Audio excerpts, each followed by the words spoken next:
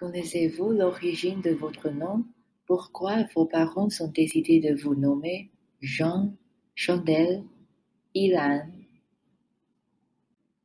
En plus d'un caractère représentant le nom de famille qu'on ne choisit pas, il y a généralement un ou deux caractères à choisir pour le prénom.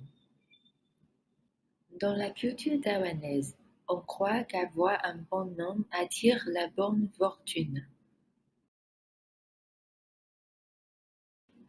Quand les parents de taïwanais choisissent le prénom de leur enfant, ils doivent faire attention aux trois choses suivantes.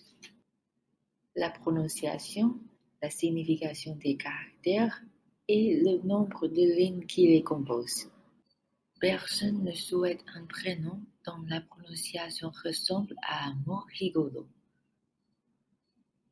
Par exemple, dans ma première année de cours en Haïti, je ne connaissais pas très bien les créoles haïtiens. J'ai nommé un de mes élèves Fou, d'où les élèves riaient, y compris celui-ci.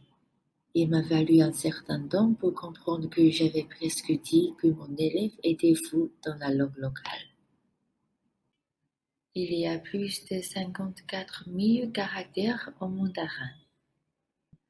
Bien que seulement des milliers d'entre eux soient fréquemment utilisés, il est encore difficile pour les parents taïwanais de choisir ce qui convient le mieux à leurs enfants. Chaque caractère a sa signification propre. Imaginez quel espoir souhaitez-vous mettre dans le prénom de vos enfants avec un ou deux caractères seulement.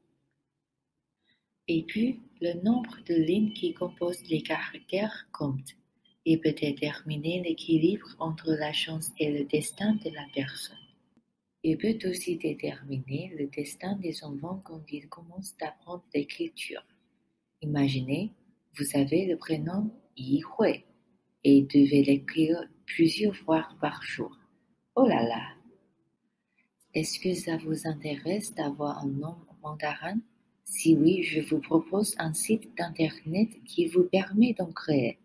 Vous pouvez aussi choisir les caractéristiques que vous voulez représenter.